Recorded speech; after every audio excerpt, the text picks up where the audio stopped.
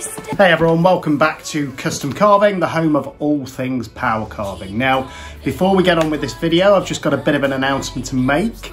We've reached a thousand subscribers, so thank you everybody who's been sharing the content. I hope that means that you guys are actually enjoying it. Um, this video is gonna be uh, a bit of an unboxing video um, with regards to another Dremel attachment. Those of you that watch the channel know that I'm always using my Dremel and trying to find new ways to use it. So um, we're gonna do a quick video. It's Dremel part 335. It's the plunge router. Now, I have got a Dremel, but I think uh, one of the things I want to look at is doing some epoxy inlay in wood, which I haven't done before. Um, and for that, it'd be quite useful if I can get everything to an accurate depth using something like a router. Now, my big router is obviously far too big to be able to do that job. Um, so hopefully this Dremel tool will work and it will give us the precision that we need in order to get the job done. And if you haven't already, make sure you watch the last video because we finally finished the elephant and I think it came out pretty well. Uh, let me know what you think in the comments. Also, if you've got any ideas of what content you want next, what you want us to carve next, by all means put it in the comments. We'll try and respond to every comment that we get. Um, but for now, let's go straight into it. Let's set this up and see what happens. Also, I thought it'd be quite funny as well if we uh, tried this particular logo um, as the inlay. Yeah, I'm going to do it as sort of a three-part process with the different colours. Hopefully you recognise it. It's somebody that's quite popular on YouTube and once it's done, if he uh, subscribes to the channel and puts in comments that he'd like it, I'd be more than happy to send it to him. So let's get straight into it. So before you unbox anything, really important, make sure you've got your coffee. Um, keep caffeinated. So this is the box, what it comes in, Dremel 335. There is the other um, cheaper version of a router, but from the reviews that I've seen, you don't get much visibility. So if I'm going to be using this for um, doing sort of uh, inlays in wood, um, I'm going to want that visibility and hopefully I'll get that with this. So um, before I go through it, guys, just to let you know, um, unboxing videos, as far as I'm concerned, I don't prep them, so you see everything as I do it, um, and hopefully that way um, you get an honest review of the products. Uh, the channel's not sponsored by Dremel, it's not sponsored by Kutzall either, but I use those pretty much in every project that I, I do. Is um, I've got a Dremel 4000 and a Dremel 3000, um, just because I managed to get a good deal on uh, Facebook Marketplace. Came with a flex shaft and I managed to get it with the 3000 um, for the uh, same price as what a new flex shaft would cost me. Um, so this is what comes in the box. That's your lot. So there's the actual plunge router. Um, and actually, to say it's um, mainly made out of plastic, it feels pretty sturdy. There's a huge instruction manual. Um, I didn't expect to get a 118 page uh, instruction manual uh, with the inlay router, but there we go. I will uh, have a read through that at some point, I'm sure. In the bag, we get the following attachments.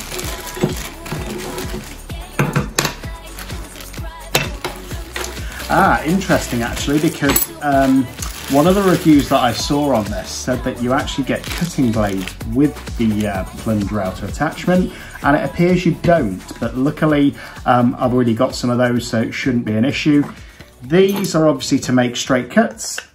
Um, you would simply put those through there, clamp them to a piece of wood or, or whatever it is you have with a straight edge and it should allow you to then attach the router like so through those slots and get a perfectly straight route um, if that's what you want to use it for. Um, as I say, I'm going to be mainly using it for inlay.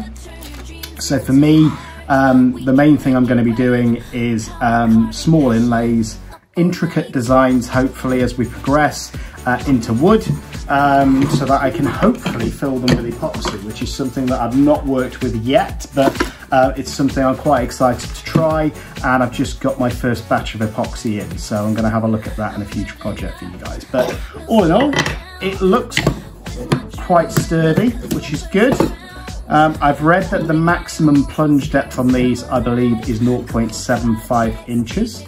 Um, you don't want to take all of that out at once though. Um, with any wood, uh, the maximum really you want to go down, I would say, is probably an eighth of an inch um, with each plunge, because otherwise um, you'll just overwork the bits, they'll get dull, and you've got a risk of potentially breaking your machine. So by the looks of it, your Dremel simply unscrews, goes in the top, and then you've got this plunge up and down system, which you just tighten with that, and it keeps it at that set depth, which seems to lock in pretty well.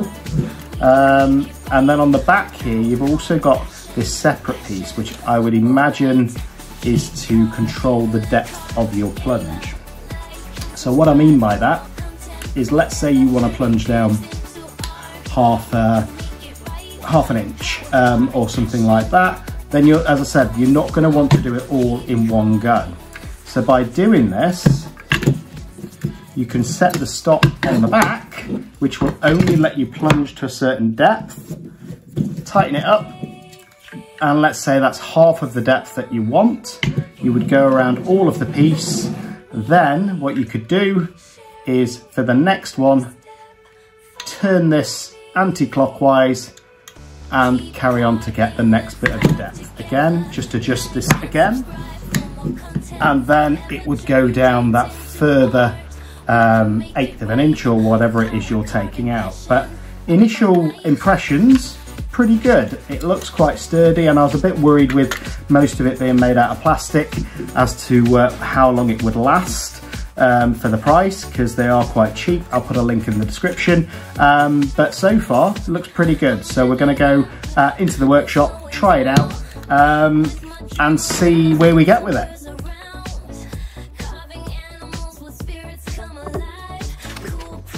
So here we are back in the workshop. This is the first mistake I made. I uh, chose oak, which is probably one of the hardest woods uh, there is to route, um, but um, I probably should have chosen some softwood first of all. So I've just cut out the design, should fit on just about, and I'm just going to it on some wood glue uh, whilst I set up the Dremel.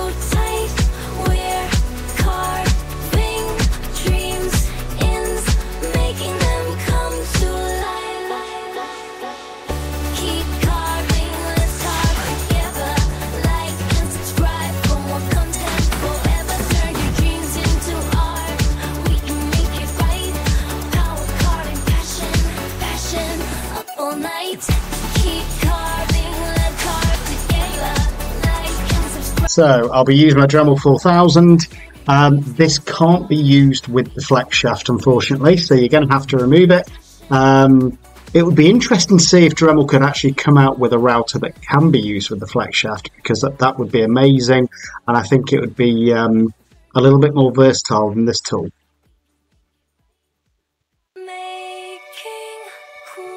So looking at it, your Dremel should just screw into the top. There's um, a little bit where you twist it round. Um, I've read somewhere that it's a lot easier to actually put your cutting bit in beforehand because it can, can be uh, quite fiddly um, if you want to uh, put it together first and then put the cutting bit in. So top tip, put in the cutting bit first. I'm going to be using the 562 uh, I'll put a link in the description as well. Um, I've also recently purchased a pack of router burrs for the Dremel, which I'll do a review on at a later point. So at this point, I realise I made my second mistake as well, because I didn't actually tighten the um, Dremel into place, which you should do with the big spanner that is actually supplied. This is where it might be a good idea to read the instruction manual.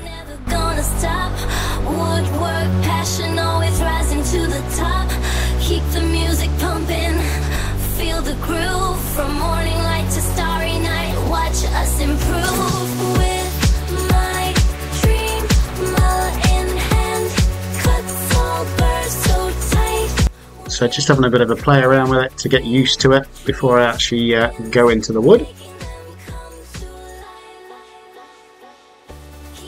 Set my speed to between 25 to 30,000 which is what I normally use with wood.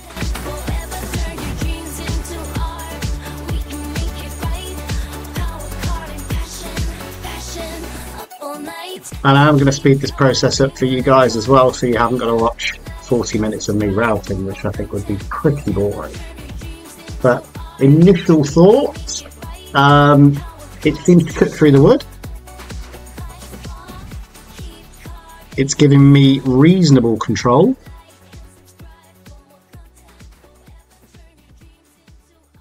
And as you can see, it's making a good cut.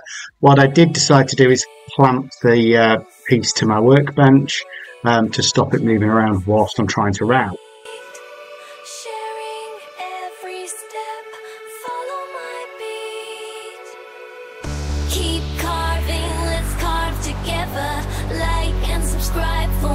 Content forever. Turn your dreams into art. We can make it right. Power carving passion up all night. You watch a lot of uh, YouTube videos where they seem to just fly around these pieces with a router. It's not quite as easy as it looks. Um, I think it's going to take a bit of practice to get used to.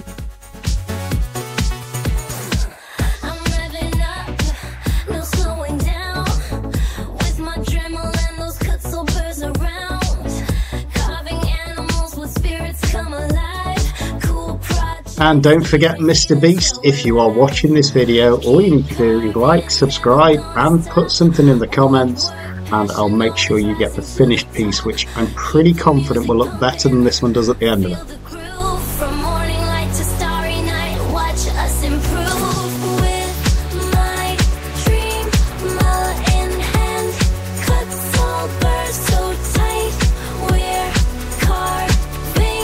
But again, to say that I didn't actually tighten it up, which I should have done, it's actually giving pretty good accuracy along the lines.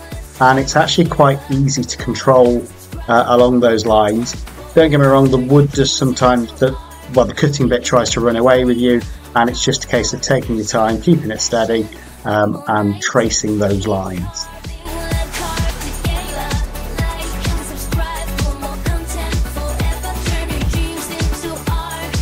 My advice to you if you're doing this for the first time as well is don't do what I did and pick a softer wood for your first attempt.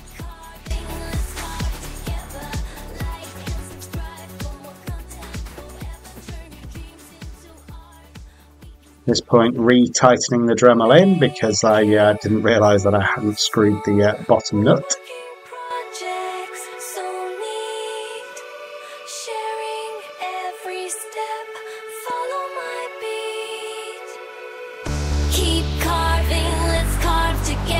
If you're new to the channel as well, make sure you put something in the comments.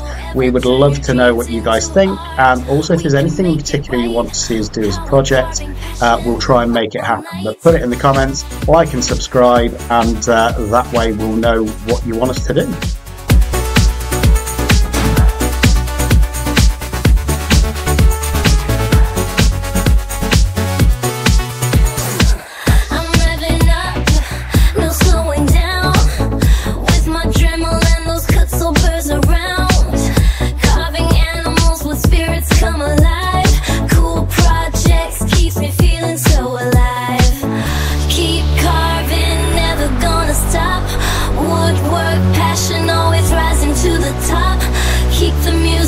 The only bit I did find I was having a bit of difficulty with here as well was the fact that obviously the big plastic guard on the bottom versus the piece of the size of the piece of the wood that I cut um, and the clamp, it was a bit tricky to actually get into uh, the tight spaces.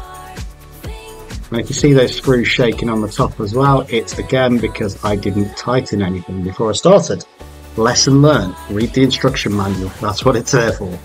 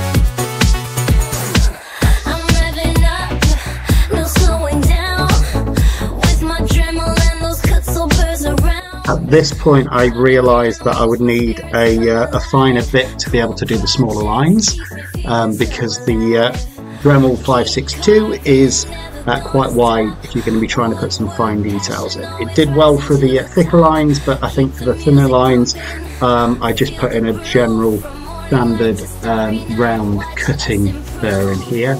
Um, I've since bought some um, pack of router bits with some smaller pieces in, which I think will work even better.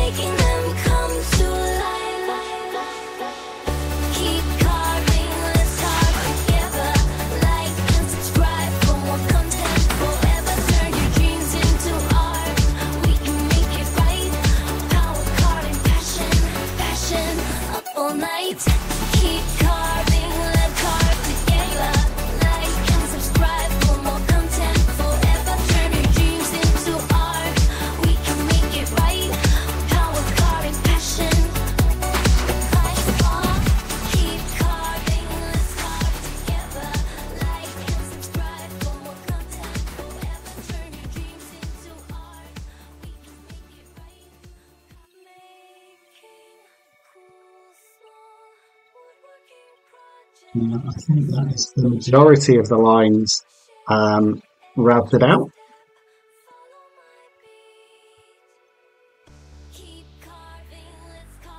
Now I'm just going to use a sandpaper to take off the original template.